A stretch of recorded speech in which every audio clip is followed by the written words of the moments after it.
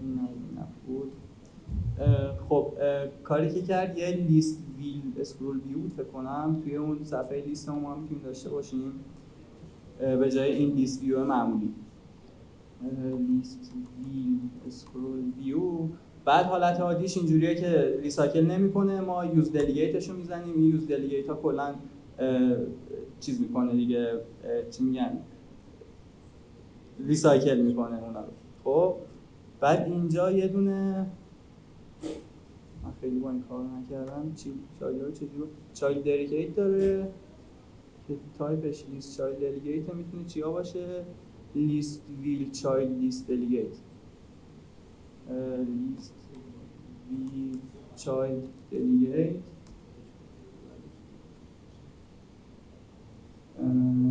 دات. دات بیل داره و کانتکست به ما میده و ایندکس میده. فکر کنم یه ویجتی می‌خواد. اینجوریه. چی؟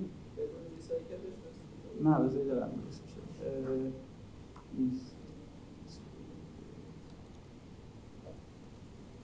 چایلد لیست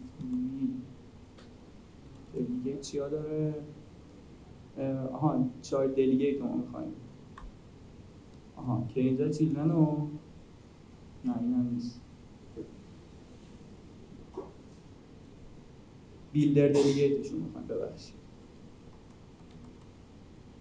که یه بیلدر به همون بده ویو رو ریسایکل کنه. بیلدرش میشه context یه index به همون میده. و یه ویژت از همون می‌خواد که همون user رو رو برمیگردونیم. این میشه users index. بعد احتمالا یه count ی هم از ما بخواد. child count. users dot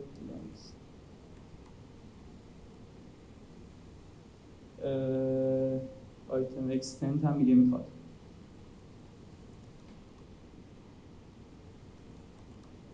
item extent ش هم مثلا میگیم چهل.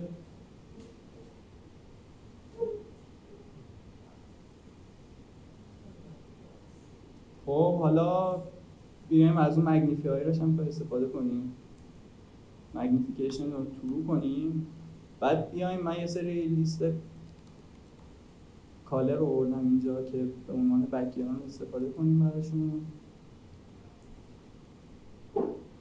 یه سری color رو همینجوری random درست کردم. بعد اینجا که داریم user رو ویل می‌کنیم اینو کلش رو wrap می‌کنیم توی یه کانتینر و color بهش میدیم. color ش میشه. از اون colors ها بعد random می‌گیریم. next int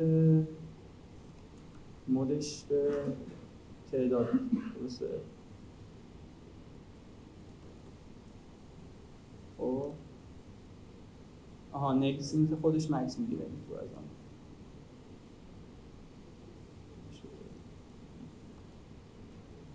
خب الان اینا یه سری بکگراند اومد واسه شما آیس نمیکسنتر رو مثلا بکنیم 80 تا. خب این magnifier است که اینجا الان اومده. اینو فکر کنم یه margin بذاریم برای کل این. symmetric بزنیم که فقط horizontal margin بدیم. مثلا 20 تا با item margin بدیم. الان magnifier ه داره اونجا یه کاری می‌کنه. بذار یه property ش عوض کنیم. این مثلا بذاریم یک و دو یادم آها. این الان اونجا انگار یه ذره بین گذاشتیم داره ویو رو نشون میده. کلا این خیلی چیز خفنیه دیگه. مثلا تو اندروید اصلا نداریم. فکر کنم لایبرریش هم نیست ولی اینا خودشون بیلتین دادن اینو برگردیم به اسلاید ها.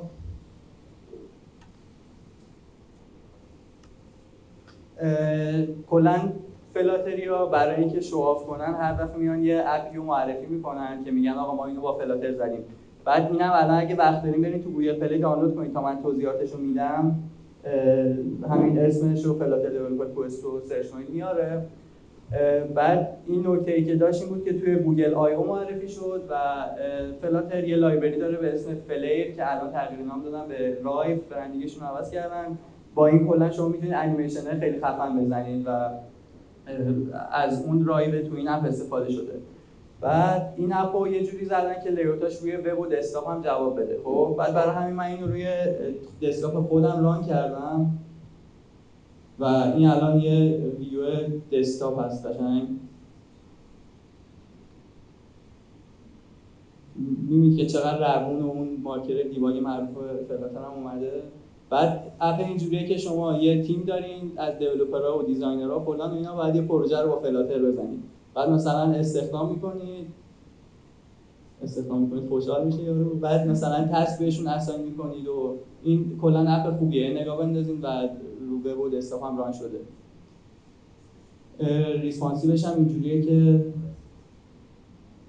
سوال داریم. Flutter Developer Quest قشنگ responsive ش هم خوب handle کردن حالا اینو تو خونه تست کنید لینک GitHub ش هم داره که open source کردن. اینم تو اسلایدها رو من بعد share می‌کنم. توی لینک GitHub ش رو بردارین برین کدش هم ببینید.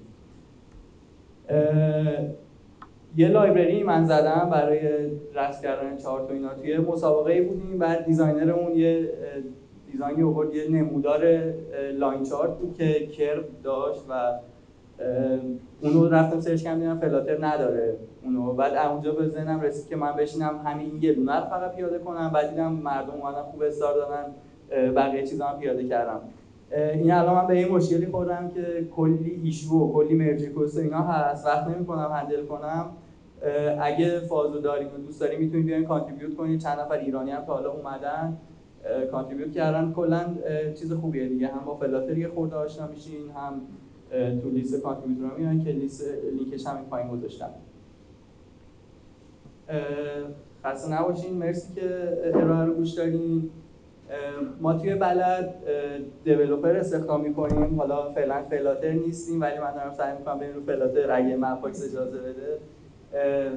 یه محصول نقشه و navigation یم که هم یه چیز بین Google Map و Waze ه که رو نقشه می‌تونید data ی نقشه رو ببینید و مسیریابی کنید. بعد الان با Java زدیم و داریم refactor می‌کنیم که الان وسطشیم با Kotlin داریم می‌زنیم صفحه جدید و اینا رو.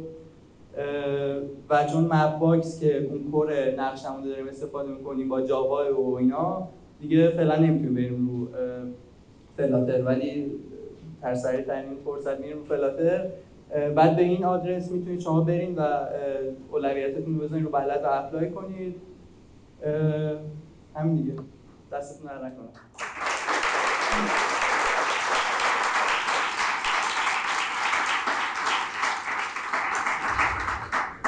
سوالی اگه داریم میکروفون بدید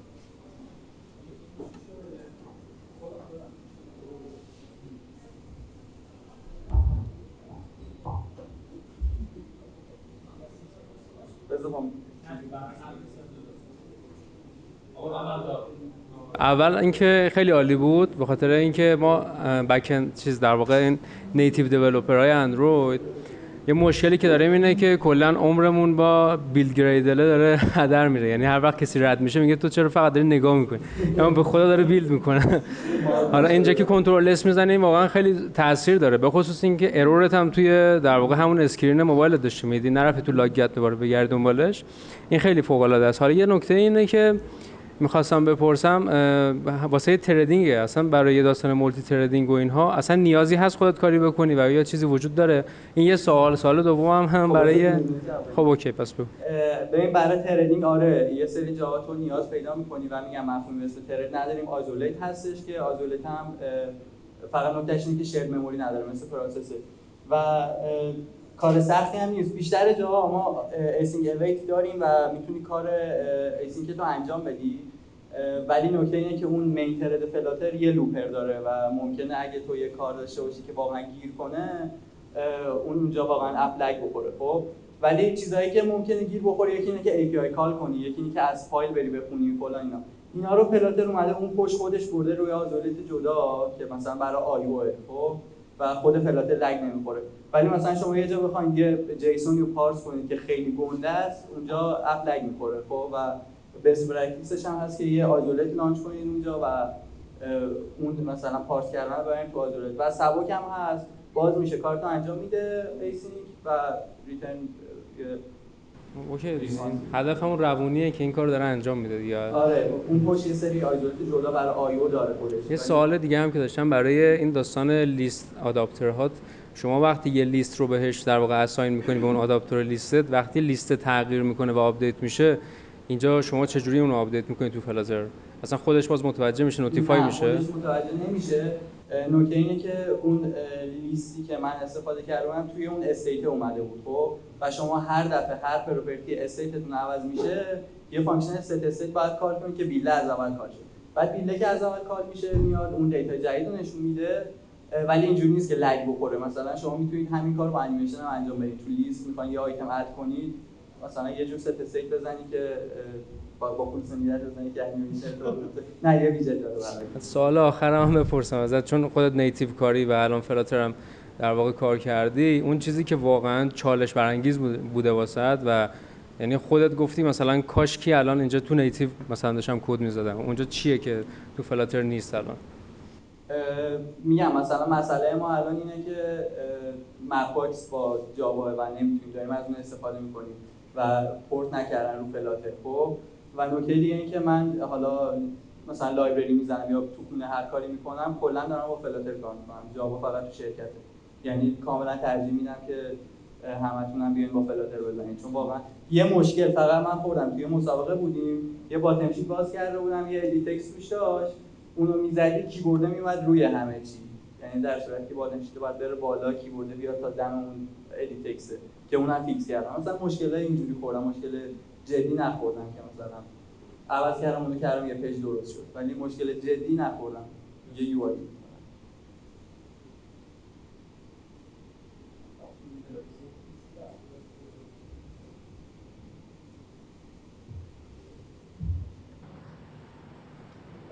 سوال من تقریبا در ادامه سوال آخر ایشونه. چرا فکر می‌کنین Flutter بهتر از native برای production برای مثلا اپلیکیشن بزرگی مثل بلد که احتمالا کارهای زیادی داره اون پشت انجام ببین خب خیلی benefit داره. یکیش اینه که شما دیگه نمی‌خواد دو تا تیم آی و اندروید داشته باشی. مثلا با یه code base چون device هم شبیه هم حالا وب یه چیزی. مثلا ولی گوشی دیگه یه چیز دیگه. بعد مثلا برای دیوار اگه بچه ها برن بچه دیوار اگه باشن می‌تونن استفاده کنن و مشکلی هم نداره. خب. برای اونا منطقی تره برای بلد شاید شاید الان منطقی نباشه. خب. و نکته دیگه اینه که 60 frame per second رو واقعا داره میده. خب. یعنی شما تو اندروید یه سری جا هر کاری کنی سر اینکه جاوا داره از thread استفاده می‌کنه و GC میاد استابل می‌کنه و هزار چیز دیگه نمی‌تونی مثل این هیچ وقت روون بدی. افتو خب. و اینکه داره مثل یه game engine کار می‌کنه. یعنی با NDK داره کد سیران میشه یعنی مستقیم CPU دیگه نمی نداره.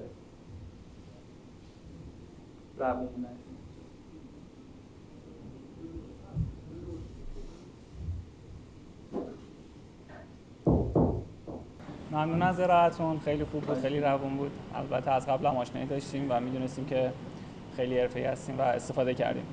سوالی که من داشتم در خصوص این بود که با لایبراری ها مثلا SDK ها library ها یا کار با سخت افزار مثل جی پی اس مثل بلوتوث آیا به مشکل می‌خوریم نمی‌خوریم؟ چون یکی از دغدغه‌هایی که روی این زبون ها هست که مثلا یه جایی برای اپای بزرگ ممکنه به بن‌بست بخوریم آیا رو Flutter همچین فکر شما می‌کنین یا نه؟ ببین میگم برای اینکه بخوای از device سخت افزاری استفاده کنی از راه method channel باید وارد بشی و یه sample هم نشون دادم که battery level رو می‌خواستیم بگیریم خب؟ ولی نکته اینه که انقدر library الان زدن یعنی واقعا می‌تونم که می‌تونم بگم که به حد کافی رسیده اون library ها و اون کار رو داره برای شما انجام میده. یعنی اون پشت method channel زده و داره سخت افزار استفاده می‌کنه. تو case های خیلی خاصی مثلا نمی‌دونم میای می‌بینی که برای ژیروسکوپ کسی نیومده library بزنه خب؟ و خیلی کار سختی نیست. مثلا با 10 خط کد می‌تونی تو Flutter یه کد بنویسی و تو اندروید هم بیای به اون گوش بدی Flutter اونو call کنه اون result رو بده به Flutter و Flutter اون کد اون result رو نشون بده هر کاری می‌خواد بکنه. و async call میشه. مشکل خاصی نباید توی این بخش باید هم برای iOS جدا کد بزنی اندروید هم جدا کد بزنی دیگه. اگه فقط می‌خوای رو اندروید خروجی بگیری و اندروید کافیه ولی می‌خوای iOS هم خروجی بگیری آره دیگه اون بالاخره رو iOS داره run میشه میره تو قسمت مثلا لایبراری ایرانی مثلا کامیونیتی ایرانی یا به حدی بزرگ شده که مثلا روی تقویم فارسی به مشکل نخوری یه چیز ساده به مشکل نخوریم یا نه؟ اتفاقا تقویم فارسی یکی زده اونو دیدم میموند ولی به نظرم تو ایران هنوز خیلی نیومدن سمتش خب و حالا یا مثلا وقت نکردن یا از اسمش ترسیدن گفتن یه چیز جدید سخته یا هر چیز دیگه خیلی تو ایران نیومدن سمتش مثلا طرف میترسه که بیاد پروژه‌ش با Flutter launch کنه مگه مبادا این چیزی مثلا developer نباشه بیاد نتونه اینو develop کنه؟ برای همین میرن رو همون جاوا که developer ش زیاده. ولی تو جهان جا افتاده و job دارن درش می‌زنن. شرکت ها الان تو همون سایت Flutter بریم یه قسمت داره showcase. میاد کامپنیایی که اومدن app شون رو با Flutter زدن رو لیست کرده بعد کامپنی ها گنده ای بودن اپاشون رو زدن. تو جهان این اوکی شده ولی تو ایران همین نشده سرعت پیشرفتش هم پس مستلزما بالاست دیگه و این کامیونیتی پیشرفتش مرسی.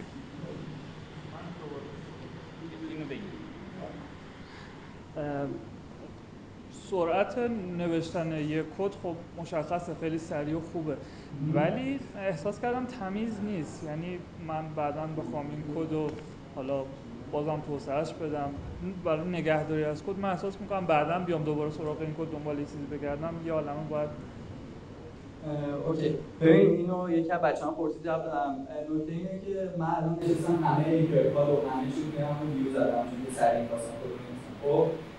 تا یه حدی میشه جدا این قضیه رو گرفت. معماری خاصی میشه آره خود دیگه این معماری پیشنهاد دادم مثلا اسمش BLoC business component خب که یه حالت ریداسکوریه که یه state بلاکت هست و اون کار connection با data و اینا handle می‌کنه و به ویو فقط یه object state میده که توی اون رو render کنه خب. و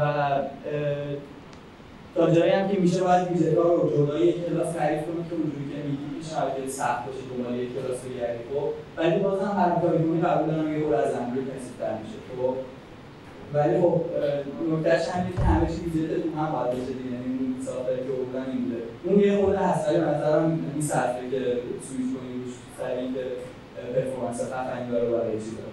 یعنی اون خیلی بولد نیست میشه میشه گفت آیا یه مشکلی خورده راه نشده. یه بار دیگه بزن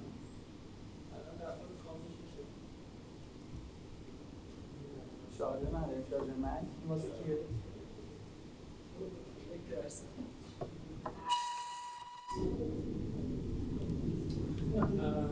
نه نه روشنه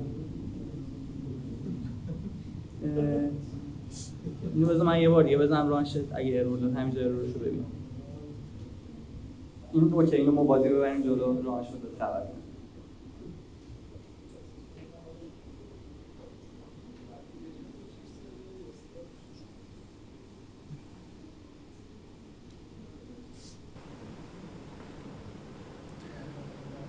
چیزی که من توی iOS دیدم که خیلی سر داره خروجی گرفتنش. مثلا می‌خوای دانلود بنویسی باید بری حتما توی پیل لیست مثلا کانفیگش اونو مجوزاشو دستکاری کنی بعد اصلا می‌خوای می‌خوای دانلود بنویسی مثلا یه فایل می‌خوای دانلود کنی. باید حتما بری توی پیلیست اونجا مثلا پرمیشن ها رو بدی بعد بیای حتما توی نیتیو اجرا بگیری. یه چیز خوبی که در مورد مثلا فلاتر من دیدم اینه که ما می‌تونیم مثلا با لایبرری کوپرتینو کلا نیتیو روی اندروید خروجی ببینیم. ولی نمی‌تونیم خروجی بگیریم. خروجی میشه دید ولی نمیشه گرفت. و کلا احساس می‌کنم که روی iOS خیلی پینه خروجی گرفتنش. نه اینطور نیست. بذار ببین اون قسمت اولی که گفتی گفتی که برای network call و اینا یه قسمتی واقعا به OS ربط داره خب؟ یعنی توی اندروید هم شما مجبوری بری تو manifest permission اینترنت رو بگیری خب؟ مشکل Flutter نیست اون قسمتی که میگی مثلا فلانه ولی اونجوری هم نیست که برای API, call بری کدش رو توی native بزنی. الان من این کد API call رو زدم و روی iOS داره اجرا میشه با همون library Dio خب؟ اون نیست بری توی نه. برای call مشکل نداره. موقعی که می‌خوای ذخیره کنی یعنی دانلود اتفاق میافتاد. بعد که می‌خواست بره مثلا روی SD card یا مثلا ذخیره بشه اونجا یه permission ی می‌خواد که باید بریم مثلا سراغ plist بعد بهش بگی که مثلا permission ها رو OK کنه بعد اصلا آره درست میگم این به OS داره مثلا تو اندروید هم فایل بخوایم بنویسیم. یه library هست که از Flutter permission اون dialog permission رو trigger کنی که بیاد permission بگیره از کاربر چون در نهایت به اون OS داره run میشه. اینا یعنی به Flutter نداره. اون چیز دیگه OS دیگه. plist و اینا رو باید انجام بدیم آره. permission حجم خروجیاش چقدره؟ آیا حجمش منطقیه یا مثل React Native حجمای خیلی React Native مثلا یه hello world می‌زنی 26 مگ میشه. آره. من اینو آخرین باری که خروجی گرفتم 8 مگ بود hello world ش خب. ولی این حالتیه که برای همه CPU ها اون ARM کدای مختلفو می‌ذاره خب. ولی اگه شما split کنی مثلا بگی فقط برای یه ARM خاص بگیر اون میشه 4 مگ که رو Google Play این کار می‌کنه ولی بازار چون الان support نمی‌کنه این قضیه رو. شما مجبوری برای همه CPU یه خروجی بگیری و همه رو بذاری توی ای دیگه ولی اگه جدا بخوای بگیری 4 مگ بعد با database local هم خوب کار می‌کنه. مثلا ما الان app ی که داریم اینجوریه که روی سرور یه سری کار انجام میشه بعد هر بار که app میاد بالا تو background data ش رو ببخشید روی client یه سری data وارد میشه. هر بار که اینترنت بس میشه data ش رو به سرور sync می‌کنه. بعد می‌خواستم ببینم این با database SQLite ی که قبلا داشتیم خوب کار می‌کنه یا نه؟ ببین خیلی سخته که تو بیای method channel بزنی برای این کار چون برای هر function باید بیای تعریف کنی و اینا. یه سری چیز هست. مثلا یه library هست. Room و برعکس کرده گذاشته Moor اسمشو خب؟ و اون کار database ی داره انجام میده. پشتش هم داره مثلا از SQLite استفاده می‌کنه. ولی اون سختیه رو از شما گرفته که بیای method channel بزنی. با اون خیلی راحت data save می‌کنی می‌خونی. یعنی عین کد کد Flutter می‌زنی ولی رو native میره راحت می‌نویسی. مشکل خاصی هم نداره. یه سوال دیگه هم پرسیدی فکر کنم. به جز این library database و اینا سوال دیگه نبود؟ الان برای map تو Flutter از کدوم library استفاده می‌کنید Google Map یه چیز خوب داده map خوب داده از اون استفاده می‌کنن معمولا به جز اونم فعلا map خفن خوبی نداره. Google Map رو پورت کردن اومده ولی یادم یه بار استفاده می‌کردم خوب کار نمی‌کرد هست چند تا map هست ولی من چند بار میگم run کردم خوب نبود. مثلا یه سری function ها نداشت. method channel ش نزده بودم خوب کار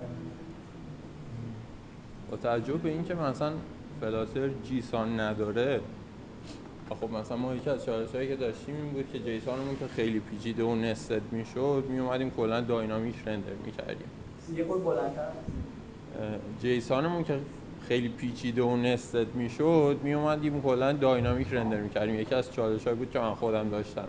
چون مثلا خب جیسان نداره که مستقیم بیاد کلاس بساز یعنی آبجکت بساز از کلاس هایی که تعریف کردیم. مثلا شرکت های تو اسکیل بلد که فکر کنم خیلی مثلا به اصول آبجکت اورینتد پایبند باشن فکر کنی هیچ وقت میرن رو فلاتر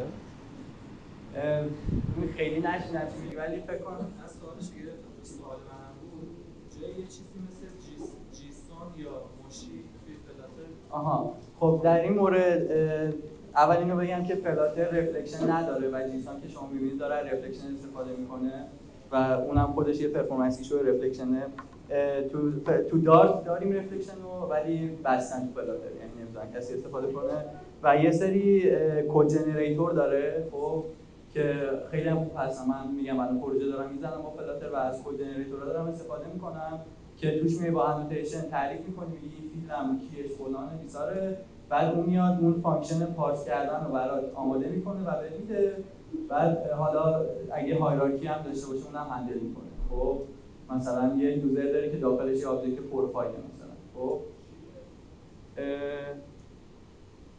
JSON builder فکر کنم اگه اشتباه نکنم. search کنی میاد دیگه الان اسمشون رو نه ولی code generate می‌کنه دیگه یعنی یه سایت درست میگم نه سایت نیست یه plugin Flutter یه آره یه command می‌زنی اون کلاسایی که حالا اون annotation دارن کلاسش میاد کنارش میاد یه فایلی هم درست می‌کنه برای parse کردن JSON ش. یه plugin هست. intelligent همونطور که می‌دونی تو Flutter force close نداریم.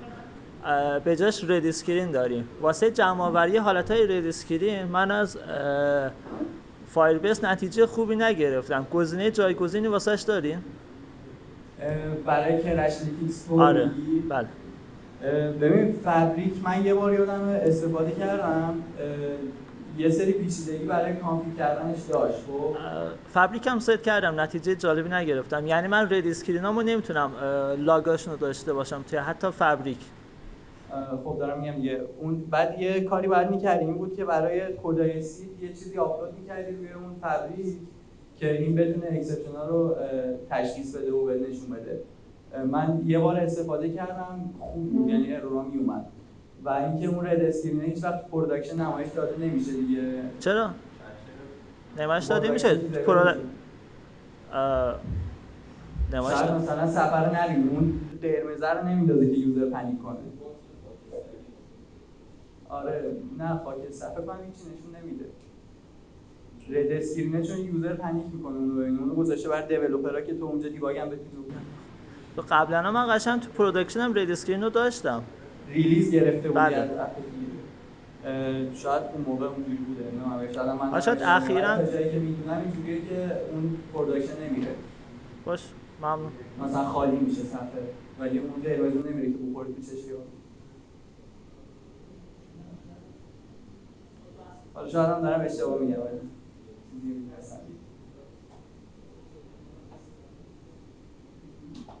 سوال نداره کسی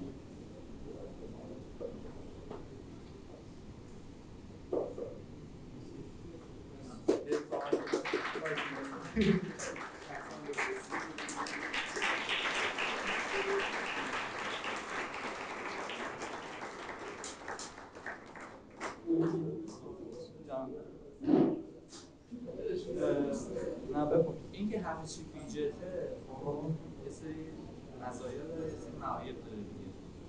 ایرادش اینه که هر کاری بخوای بکنی باید یه دونه از اول بگم. چی؟